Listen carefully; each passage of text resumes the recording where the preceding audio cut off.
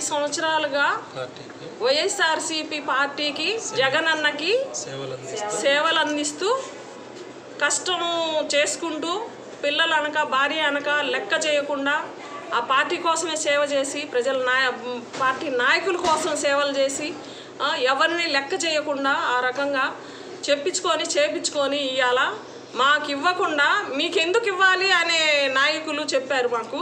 మీకు ఎందుకు ఇవ్వాలని అన్నారు మాత్రమే మేము పార్టీకి ద్రోహం చేయడానికి మాత్రం కాదు.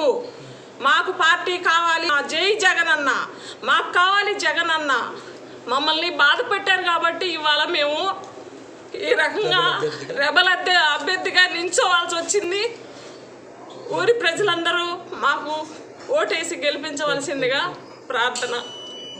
అది. నా పేరు భవన వెంకటరెడ్డి. అంకిరెడ్డిపాలెం. ఇరవై ఆరో వార్డు.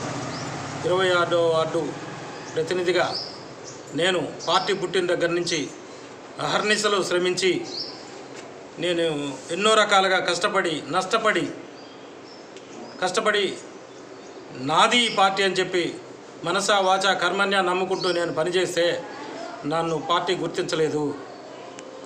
నాకు అన్యాయం జరిగిందనే భావంతో నేను రెబల్ అభ్యర్థిగా మా మిస్సెస్ అయిన భవనం పద్మావతి గారిని అభ్యర్థిగా నుంచోబెట్టుకొని ప్రజల సహకారంతో నేను ఈ వార్డుకి అభ్యర్థిగా నేను పోటీ చేస్తూ ఉన్నాను.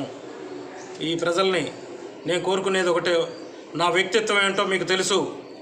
మంచిని ఎన్నుకుంటారని మంచి కల్లి ప్రజల అండా దండలతోటి నేను మంచి మెజార్టీతో గెలుస్తాననే విశ్వాసంతో నాకున్న అన్నదండలు నా సేవను గుర్తించి ప్రజలు ఆశీర్వదిస్తారని ఆశిస్తూ నేను ఈ ప్రభుత్వానికి వ్యతిరేకిని కాదు.